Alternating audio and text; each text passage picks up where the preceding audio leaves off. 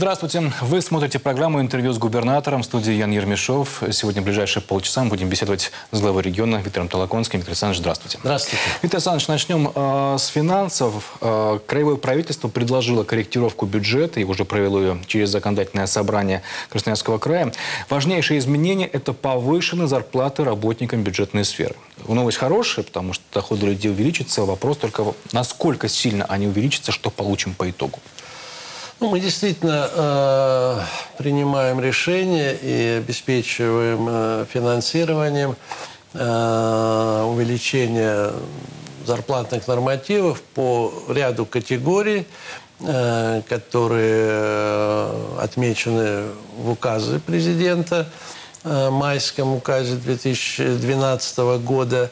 Э, в первую очередь это касается работников культуры, и э, краевых учреждений, и муниципальных учреждений культуры.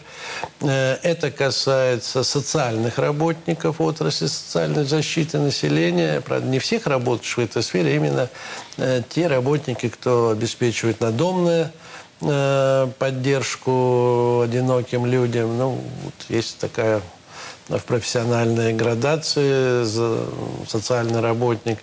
И э, в конце года, в четвертом квартале, это будет отнесено к работникам сферы здравоохранения.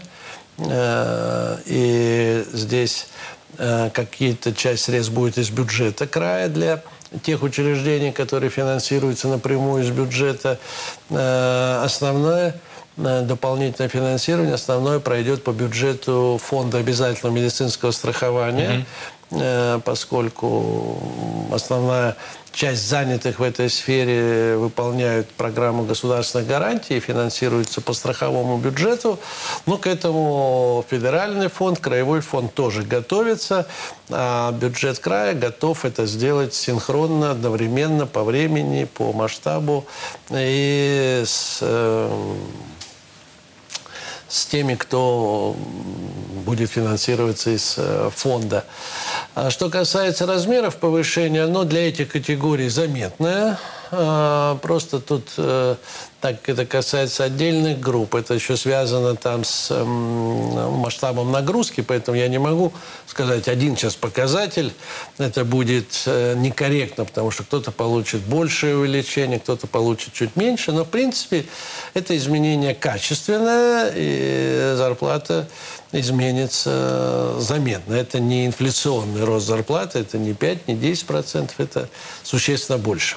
Я правильно понимаю, что как раз это касается вот э, тех самых работников, у которых были самые низкие зарплаты? В принципе, да. да. Это касается большой армии работников культуры. Ну, традиционно, особенно в культуре библиотечной, музейной, сельской. Это большая армия занятых, и очень важно. И там действительно это ну, несколько второй этап. Вы помните, в первую очередь касалось работников образования, учителей, воспитателей, работников дошкольных учреждений. Школьных. Кстати, тоже э, ряд категорий работников образования, кто не был э, в указе отмечен, тоже получают сейчас изменения, дополнительные возможности по заработной плате. Это касается методистов, это касается некоторых mm-hmm. еще э, специалистов. Но это в этой отрасли очень небольшой удельный вес. А вот в культуре и в сфере социальной поддержки населения, социальной защиты это достаточно многочисленная армия, это достаточно серьезные дополнительные расходы бюджета, которые в этом году будут сделаны. И понятно, что это переходит на следующий э, год. Э, притом э, некоторые решения по повышению зарплаты будут продолжены в начале будущего, 2018 года. Там будут и дополнительные ресурсы в сфере здравоохранения, и э, в сфере культуры. В то же время мы одновременно решаем задачу и оптимизации. Мы где-то э, ну, снижаем неэффективные расходы в тех или иных сферах, где-то переходим на финансирование не штатного расписания, а конечного результата. То есть деньги идут за ребенком, там, например, в школах искусств, там, в спортивных школах, в дополнительном образовании, в общем образовании. Где-то средства идут за ну, услугой, оплачивается не, не сама зарплата просто финансируется механически, а финансируется обслуживание. В общем, это э, большая управленческая работа, э, и это всегда будет под контролем и правительства края, и лично у меня.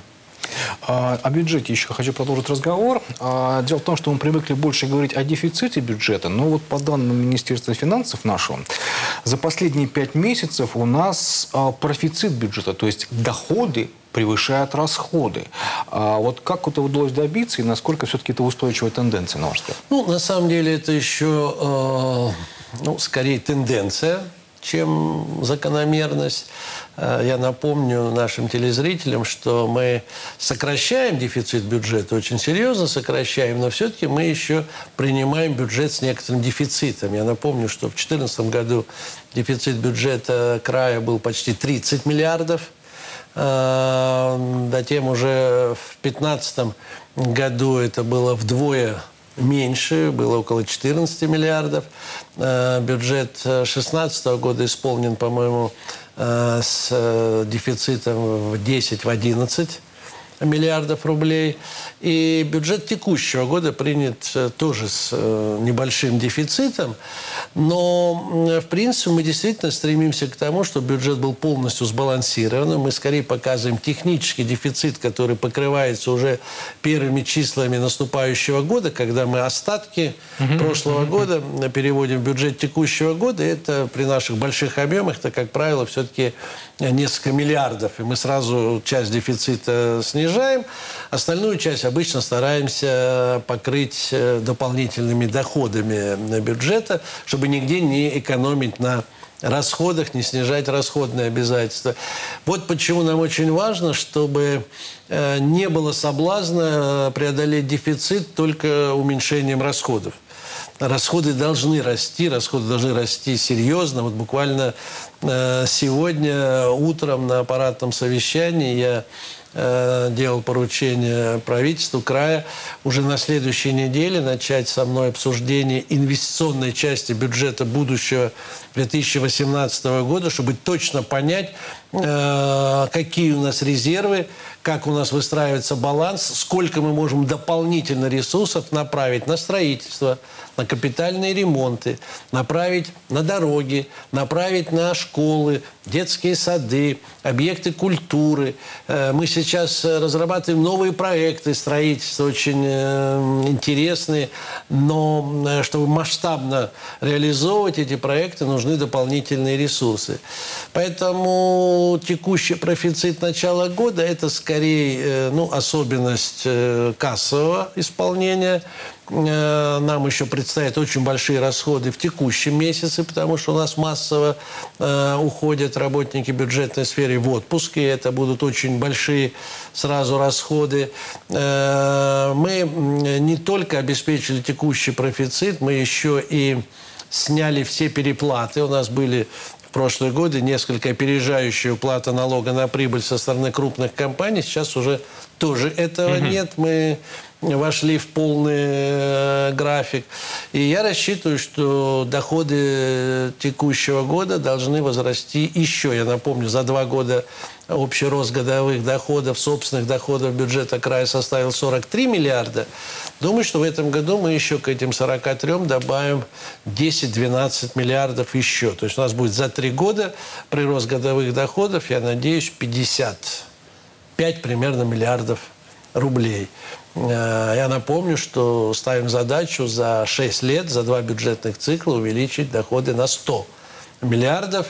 Э, эта задача очень э, сложная, но пока мы идем вот в этом графике, даже с некоторым его опережением, и думаю, за первую трехлетку мы 50-миллиардный рубеж перейдем. И хотя каждый следующий миллиард дается сложнее, но у нас очень много инвестиционных проектов. Я напомню нашим телезрителям, что ежегодно инвестиции в экономику края превышают 400 миллиардов рублей. Э, никогда не снижались, несмотря ни на какие кризисы. Э, в прошлом году это было 420 миллиардов. Это 27% от объема валового регионального продукта. Это тоже показатель очень Больше высокий. Четверти. В среднем по России это меньше 20 сегодня процентов. И ориентир, который ставит глава государства для всей экономики, это примерно 25 процентов. У нас уже сейчас 27 процентов. Это новые мощности, это реконструкция крупных наших предприятий, это э, другие возможности производства в наших базовых отраслях, появление новых мощностей в переработке сельхозпродукции, новых мощностей э, в машиностроении, где у нас вот делаются спутниковые системы, делаются э, техника по гособоронзаказу. Есть очень много современных предприятий, которые сейчас проводят масштабное техническое перевооружение, вводят новые мощности. Это дает э, серьезный рост и объемов производства, и эффективности, и э, налоговой отдачи. У нас э, уверенно развивается золотодобывающая промышленность. Вот буквально вчера еще не успел там рассмотреть в таком, ну что ли, в конкретном э, максимально там профессиональном режиме, но видел вчера строку э, по телеканалам, что Роснефть объявил об открытии нового месторождения в районе Хатанги.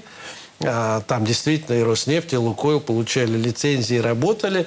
Ну, значит, будет еще и добавка в этих отраслях. Я всегда говорю, там э, примерно рост добычи миллиона тонн нефти. Миллион тонн нефти дополнительно – это миллиард рублей дополнительно угу. доходов в бюджет э, края. Поэтому это серьезные возможности, это большие задачи, и мы их э, готовы решать. И действительно, я надеюсь, что бюджет э, будет расти. Но по-прежнему я настаиваю, что рост расходов должен быть таким же, как рост доходов. То есть мы не должны э, там, стремиться к профицитному бюджету, нам нужно стремиться к максимальному росту строительства, ремонтов, обновления наших всех инфраструктурных сфер. Вот сейчас новые проекты рассматривал в культуре, надо как минимум там 20 клубных учреждений в год новых строить. Не меньше 20 новых школ небольших в сельской местности строить. Строить большие школы в Красноярске. Здесь нужно как минимум две школы в год, больше, чем на тысячу мест э, строить. Это все миллиардные затраты. Их надо заработать, их нет куда э, снимать. И зарплата должна увеличиваться, потому что люди должны повышать свое качество жизни и содействовать развитию всей благоустроительной сферы. Посмотрите, у нас в этом году сколько программ. Благоустройство во дворах. Дороги. Там публичные пространства. Э, гораздо больше объем на дороге. Должны люди увидеть. Сейчас еще просто не пришло время, потому что процедуры торгов, процедуры вхождения. Но я обязательно вас попрошу где-то э, в конце августа, в сентябре вернуться вот к этим большим программам, которые мы реализуем на территории края, и мы увидим с вами очень серьезные изменения. Виктор Александрович, э, еще при корректировке бюджета учли также расходы на поддержку пострадавших от пожаров. А вот какая сейчас идет помощь по горельцам? Ну, мы э, завершаем этап такой, что ли, э, первичной помощи, когда нужно создать пункты временного размещения, хотя люди не очень активно этим пользуются. Есть родственники, есть близкие, друзья. Но, тем не менее, часть пострадавших живут у нас э, в пунктах временного размещения. Должно быть организовано хорошее питание. Кстати, питанием пользуется больше людей, чем живут в пунктах временного содержания, они живут у родственников, но приходят э, на завтрак, обед, ужин, приходят в наши пункты временного размещения. Э, получена сразу была там буквально в первые там 2-3 дня денежная помощь каждому пострадавшему и каждой семье. Э, сейчас мы выплатили первый транш помощи федерального бюджета. Он еще будет сейчас завершаться, но первые 30 миллионов мы уже получили. И Э, в начале прошлой недели выплатили. И сейчас будут э, завершены эти все выплаты. достаточно э, серьезные суммы. Решены задачи по восстановлению документов. там были у кого-то утеряны паспорта, водительские удостоверения. Все это тоже было сделано буквально в один-два дня, и каких-то проблем не возникало. Э, решены ряд э, социальных э, задач. Ну, там дети пострадавших отдыхают сейчас в загородных лагерях. Там вот сегодня мне докладывали около 30 детей. Мы эту работу продолжаем. Мы готовы пожилых людей принять в наши санатории. То есть эти все вопросы решаются. За каждым городом закреплен ответственный э, куратор из членов правительства края.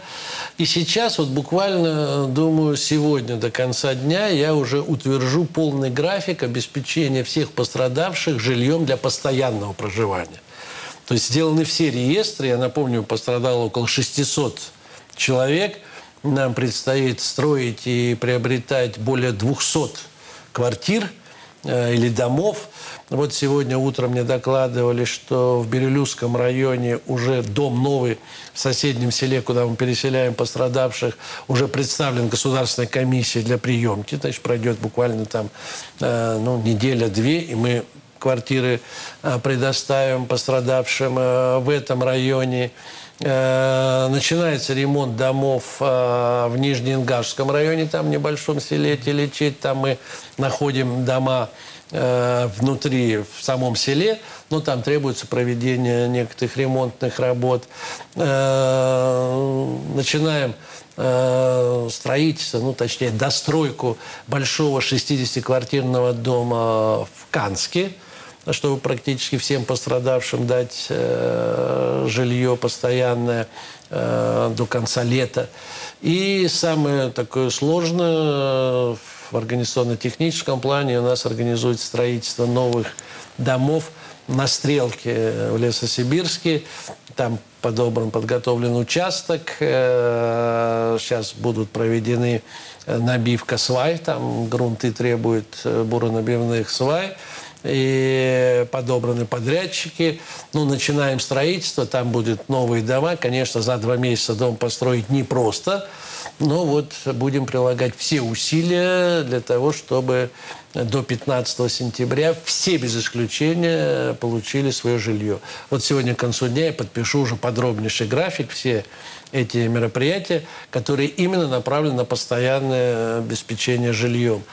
А, плюс э, поступает гуманитарная помощь. Э, мы обратились ко многим предприятиям, организациям нашего края. Э, вообще люди активно отвлекаются. Я уже благодарил людей, еще раз хочу поблагодарить, потому что буквально в первый же день, еще не был потушен пожар, уже первая помощь люди, вот я да. видел это в Канске, видел в других территориях, уже поступала. Люди всегда наши очень э, э, ну, активно откликаются на вот такие трагедии, на такую беду.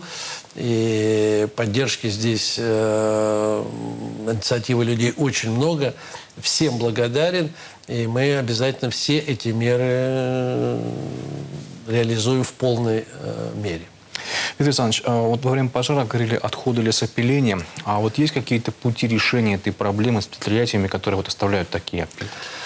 А, это непростая задача, но и она будет решаться. Я всегда настроен на то, чтобы из каждой даже трагедии, которую там спровоцировала стихия или там небрежность, э, как мы говорим, человеческий фактор. Э, тем не менее, мы хотим принять системные решения. Одно из них действительно является то, что правила соблюдения пожарной безопасности на предприятиях лесопереработки будут ужесточены очень серьезно. И эта работа сейчас в самом разгаре разворачивается. Э, укреплены э, наши там территории пожарными инспекторами. Они проверят сегодня вместе с органами прокуратуры, других надзорных органов, проверят все лесоперерабатывающие предприятия, которые находятся э, в городах. И где-то мы закроем, где-то мы будем обращаться в суд – и приостановим действия предприятий, если не соблюдаются никакие вот э, правила по пожарной безопасности. Э, где-то мы э, разработаем программу стимулирования и окажем господдержку тем предприятиям, которые представят программы полной утилизации всех отходов. Сейчас сложно рассматривается коллизия. Предприятие говорит, хорошо, вы нас там уже там это достали, мы готовы заняться отходами, скажите, куда их вывести. Я говорю, минуточку. Мы не будем из одного места где-то в другом месте создавать потом проблему, даже если это место вне населенного пункта. Здесь природоохранные действия очень жесткие. Поэтому мы в большей мере настаиваем на то, чтобы утилизация всех древесных отходов была производственной. То есть, чтобы были построены новые установки, новые цехи по производству пилет, э, чтобы были построены экологически чистые котельные на щепе, на опилках, чтобы не только для собственных нужд, но можно было и продавать какую-то энергию, какое тепло. Понятно, что все эти меры требуют дополнительных средств, дополнительных инвестиций. И бизнесу не так просто на это пойти, поэтому вот тоже вот в эти дни я сделал поручение правительству, чтобы был разработан э, специальные нормы закона края об оказании государственной поддержки тем лесоперерабатывающим предприятиям, которые будут э, создавать мощности по полной утилизации отходов.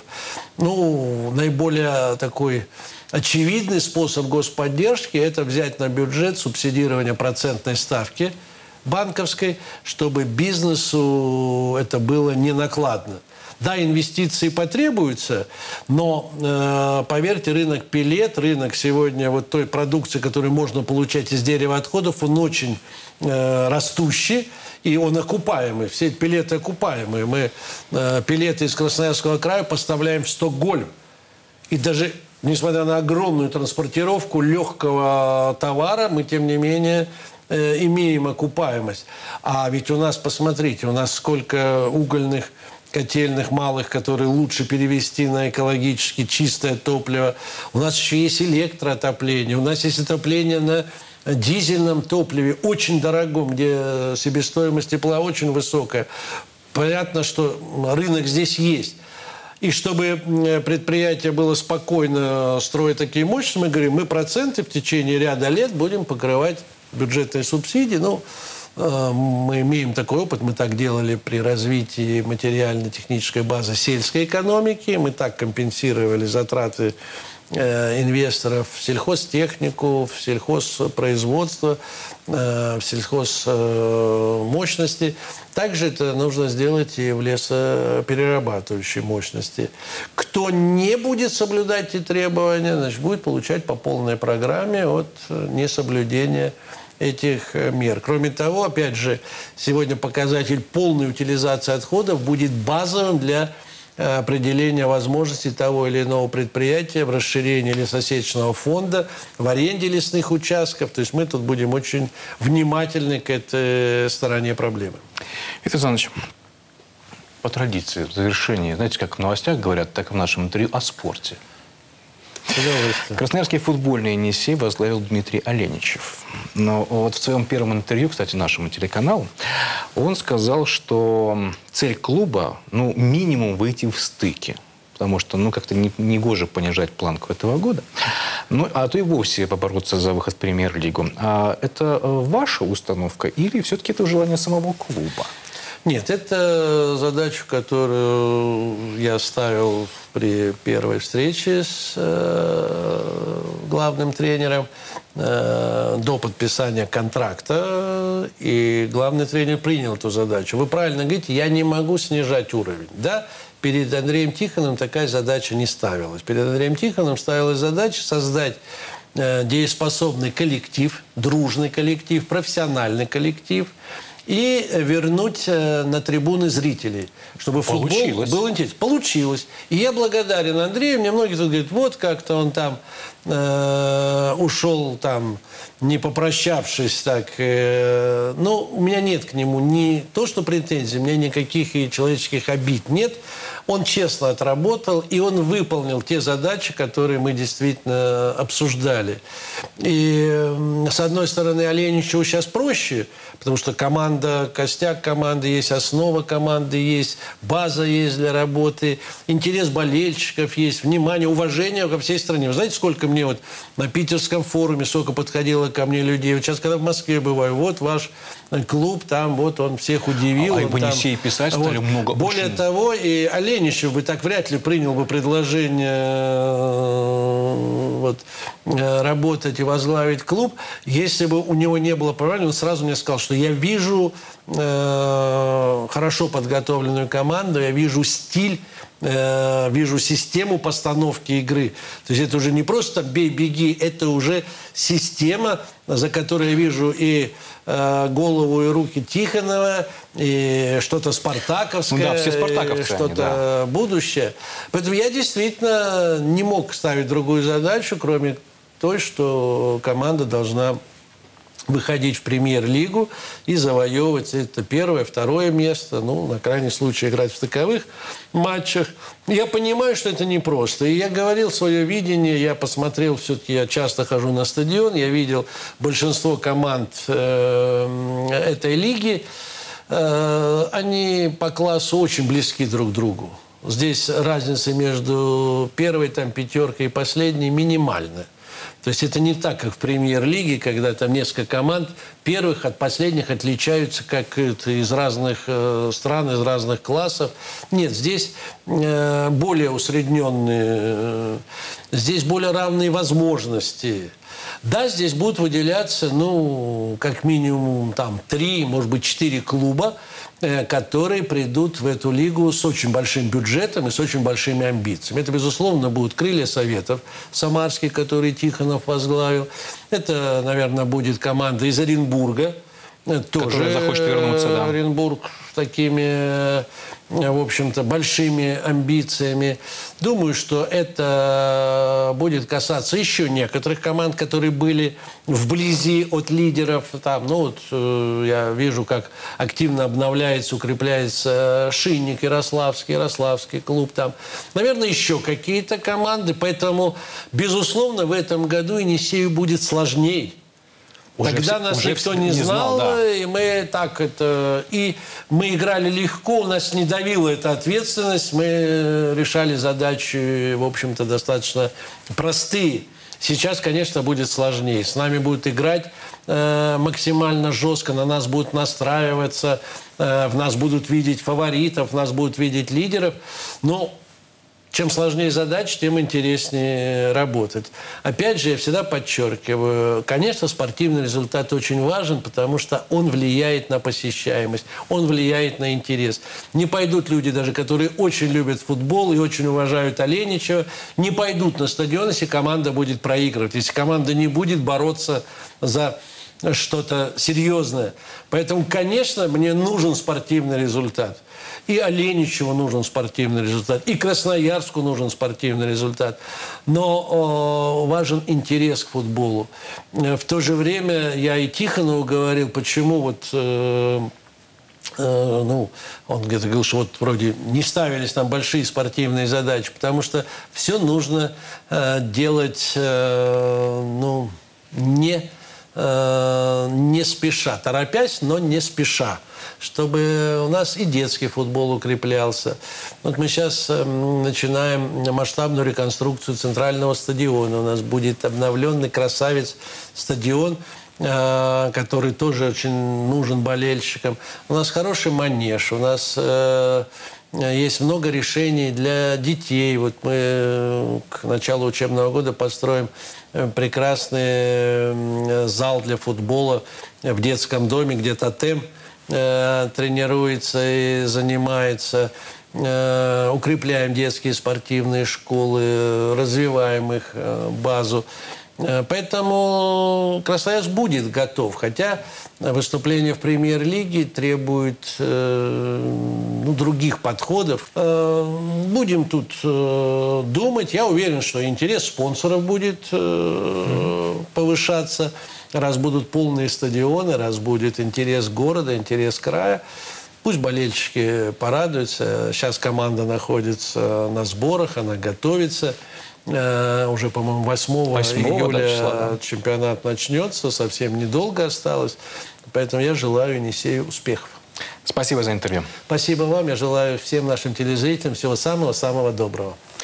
Виктор Толоконский, губернатор Красноярского края, сегодня был у нас в гостях. Всего доброго. До встречи.